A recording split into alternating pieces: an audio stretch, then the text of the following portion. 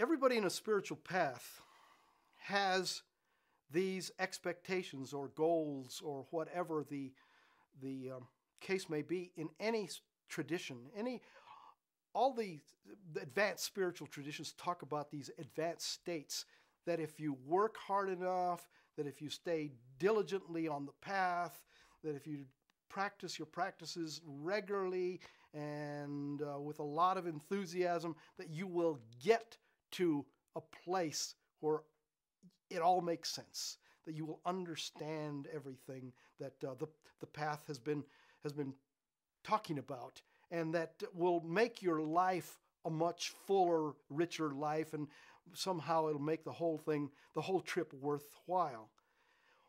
I too am that way. I had all of these expectations of my evolution into my fulfillment, into becoming a man of knowledge, a, an advanced shaman, healer, practitioner of, of spirituality, a, mystic.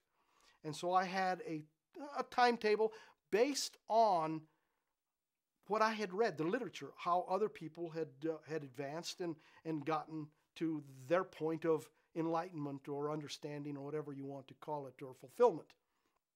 So I had a timetable based on that. I was sure that I would probably be reaching this advanced state of enlightenment in my late 50s or in, in my 60s, just like everybody else in the tradition. I didn't know.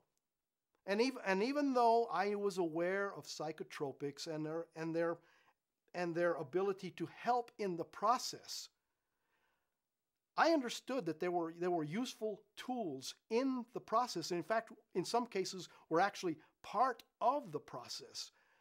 I did not know or did not conceive of the possibility that there would be this substance, this one substance that could do quantum leap on the whole process.